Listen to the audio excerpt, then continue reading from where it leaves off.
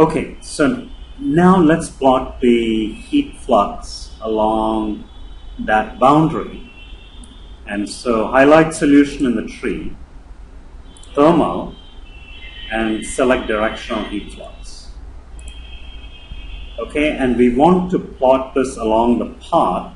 So for scoping method, we say path, and the specific path is the one that we just created, y equals 0. Okay? And the direction of the heat flux is so at the bottom boundary, the, it's going to cross in the y direction. So I should change that to y axis. Okay? And I can rename this. So I'll right click and say rename. And I will call that heat flux crossing bottom surface. Okay? And so I can right click on this and say evaluate all results.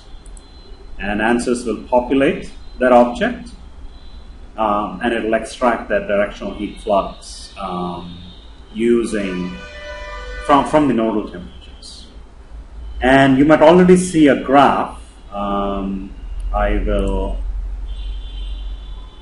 bring this up and you can see that that shows you the variation from x equal to 0, non-dimensional x equal to 0 to non-dimensional x equal to 1.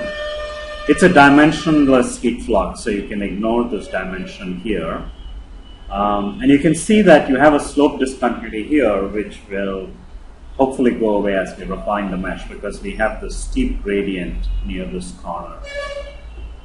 And we also have the tabular data corresponding to that graph. So if I unpin that, um, I have, you know, the values of the distance along that path versus the, the value of the directional heat flux. And again, it's, it's non-dimensional.